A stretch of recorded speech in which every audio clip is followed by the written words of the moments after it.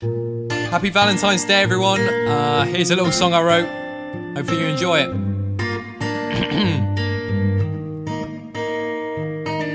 I got no Valentines. Girls think I'm lame.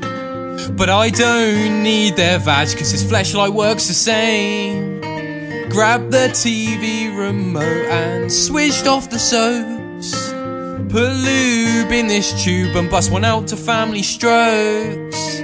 Then my stepmom began to walk over. In my trousers, I got a big boner. I pulled her closer, but with consent, she said I'm pitching a pretty small fucking tent. I said, shut up, it's bigger than my dad's. She said, true, and put my penis in her glands. She did a real good job, ate the cheese on my knob, and filmed it for her OnlyFans. 69 wanks, my dick's like a Peperami. The head's swelling up, it's big and purple like Barney. On the ropes, brother, you can call me Jeff Hardy. I'm at a party, all the girls getting wetter than a tsunami but I'm out of luck. Getting no fucks or punani. About to go home and shag my sister's toy Barbie. I just wanna be with an ass like Cardi, bro. I'll even pay for her. Just give me the price, no Harvey. I don't give a fuck, I'm quite literally a virgin. Still can rearrange your mother's guts like a surgeon. Need poon detergent if I'm going near your mum. Happy Valentine's twat, yeah, this song is fucking done.